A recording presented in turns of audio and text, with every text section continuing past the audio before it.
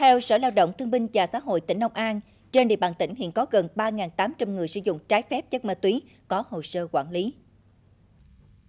Qua rà soát, số người sử dụng ma túy từ đủ 18 tuổi đến dưới 30 tuổi là hơn 1.600 người, từ đủ 30 tuổi trở lên trên 900 người. Ngoài ra, số lượng người sử dụng ma túy không có việc làm hơn 1.900 người. Tuy nhiên, trên thực tế, ngoài xã hội còn rất nhiều người nghiện ma túy chưa được quản lý. Phần lớn những người này mới sử dụng ma túy hoặc chưa từng bị lực lượng công an phát hiện hành vi sử dụng ma túy nên chưa thể thống kê được con số chính xác.